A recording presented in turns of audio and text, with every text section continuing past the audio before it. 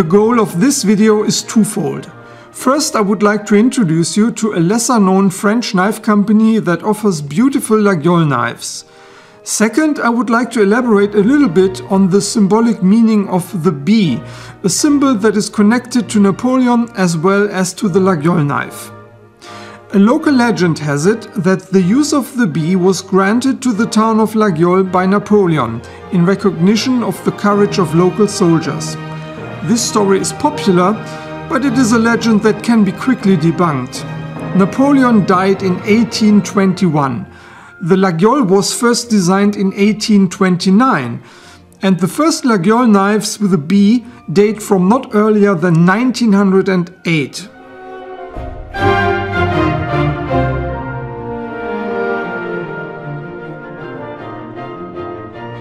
Bonjour and welcome to another journey into the world of French knives. I already reviewed a Laguiole knife in the past and I suggest you watch my video on this Laguiole Aubrac first if you're not familiar with Laguiole knives. In this older video I give a general historical overview. Today I will be focusing on a particular detail. So, what have we got here?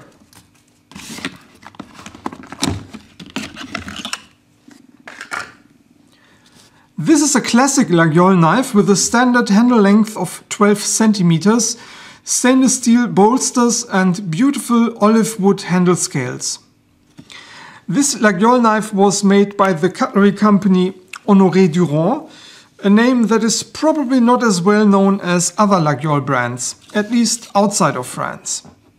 In France, Honoré Durand has been awarded several prizes over the last 10-15 years, it is a family business that is located in the town of Laguiole itself, which of course does not mean that Honoré Durand Laguioles are more authentic than others.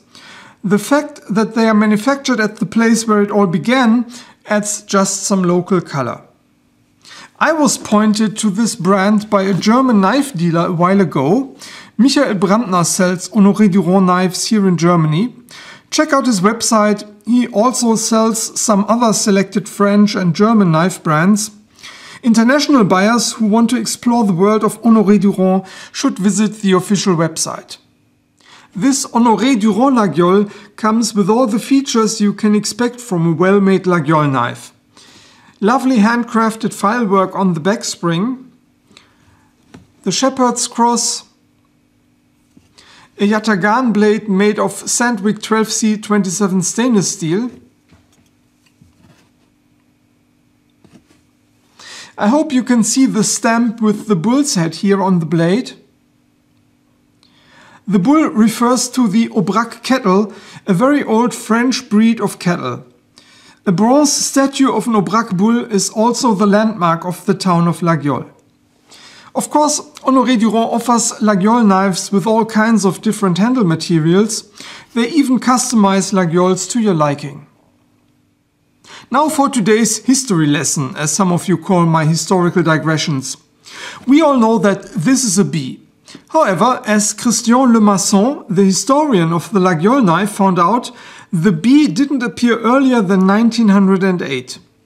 The bee was an innovation created by Jules Calmel, a grandson of the inventor of the Laguiole knife, Pierre-Jean Calmel. By the way, I can highly recommend Christian Lemasson's book Histoire du couteau de Laguiole. This book comes with a plethora of information on the Laguiole knife and with lots of old photos. Unfortunately, this book is only available in French. What we also learned from this book is that the very early Laguiole knives didn't have any decorations at all. Look at these photos. These knives were made for peasants, small farmers, shepherds, cattle breeders. In the early 19th century, the French belonged predominantly to the rural population. So in the beginning of the Laguiole era, this piece here, the head of the spring, was not decorated at all. The French cutlers call it la mouche. La mouche means fly, but this is quite misleading because it has nothing to do with the buzzing animal. It's a technical term used by cutlers. So if I say la mouche, I mean the head of the back spring. In the beginning, La Mouche came in different but very simple shapes, rectangular, oval, squarish, spatula shaped, but without any ornaments. Also, La Mouche had a function, it was part of the locking mechanism. The spring head locked the blade tang. You had to lift the spring head in order to disengage the blade. Of course, the modern slip joint Laguioles don't have this mechanism. At the end of the 19th century, the Laguiole knife gained more and more attention of people from outside the Aveyron region. Well-off people in Paris became aware of the knife. And obviously they requested a more luxurious design. And that's why the cutlers in Laguiole and other villages started to decorate La Mouche. But there still was no bee. At that time, between 1880 and 1900, the cutlers used floral ornaments, as you can see here. The fleur-de-lis and the four-leaf clover were very popular. And what is quite remarkable, Honoré Durand offers both floral motifs again today. As I already mentioned, around 1908 1909, Jules Calmel replaced the floral ornaments with the bee. Why? Actually, we don't know. Maybe it was an homage to the rural life, maybe it was a bit of Napoleon nostalgia. Wait a minute, Napoleon? Didn't I tell you just a few minutes ago that Napoleon had nothing to do with the bee on the knife? Absolutely. However, I think we have a very special case of history repeating going on here. Over centuries, the fleur-de-lis was a royal symbol that represented the French monarchy. It is still visible in numerous emblems, for example in the emblem of the city of Paris. It all goes back to the conversion of the Frankish king Clovis I in 493. It is said that an angel sent the fleur-de-lis to Clovis. As a matter of fact, decorative ornaments that resemble the fleur-de-lis have appeared in artwork from the earliest human civilizations. But especially in France, you can encounter it all over the place. So it is no wonder that the cutlers in Laguiole also used this symbol for decorating La Mouche. But Jules Calmel was not the first individual who replaced the fleur-de-lis with a bee. The same thing had happened before.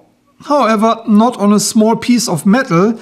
Roughly 100 years earlier, it had happened on a world historical scale, you could say.